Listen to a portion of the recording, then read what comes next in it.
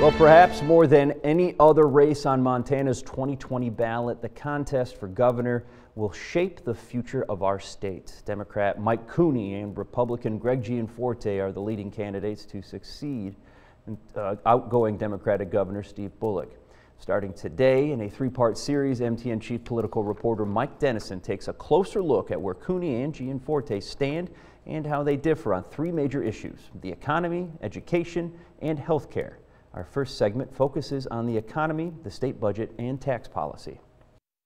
Republican Congressman Greg Gianforte says the number one reason he's running for governor is to create more and better paying jobs in Montana. How will he do it? But it focuses on a top to bottom regulatory review uh, to keep regulations that protect public safety and the environment, but remove the excessive ones, lowering the tax burden across the board. He also wants more emphasis on trades education like carpenters, plumbers, machinists, streamlining of the permit process for mines and other natural resource projects, and a freeze in state spending. We've had massive growth in state spending over the last 10 years. Our strategy is very simple. Uh, I, I am very hopeful we will not have to make cuts. My goal is to hold spending flat. Gianforte also points to his business experience, building a software development firm in Bozeman from the ground up into an international company with more than 1,000 employees. There is a huge contrast here between me and my opponent. I've spent my entire career uh, creating good paying jobs, uh, mostly here in Montana.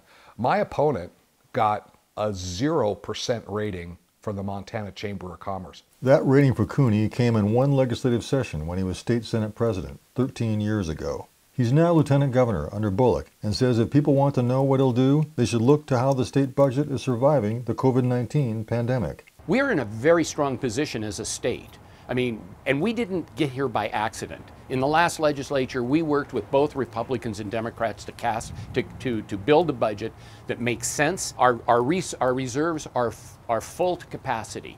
Cooney says he would continue to partner with business on education for hard to fill jobs, but that his first priority would be to make sure Montanans are healthy in the wake of the pandemic. Because we cannot kickstart the economy again without healthy people. Once we do that, then we're going to continue to open up the economy, getting people back on the job. That also includes ensuring people have access to affordable health care, he says, and preserving access to public lands, which drives Montana's outdoor economy.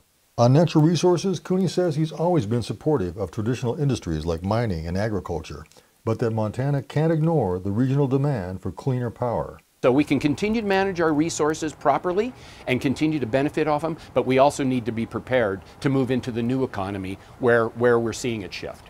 Finally, on tax policy, Gianforte wants to look at reducing taxes on property for homes and businesses and says Montana's state income tax is too high. If it's low enough, he says, it will attract more people to move here. We're competing with states that have a zero income tax rate. I think what we can do is incrementally bring that down um, and I think one of the ways we could do it is by inviting Montanans to come back home, uh, bring their jobs with them. Cooney says Montanans don't need any new taxes as they recover from the pandemic. But in the future, he'd like to consider raising the income tax rate on Montana's highest earners, those making more than $500,000 a year and with substantial capital gains. If you're making minimum wage in this in, in, Montana right now, you're paying the same tax rate as someone making $500,000.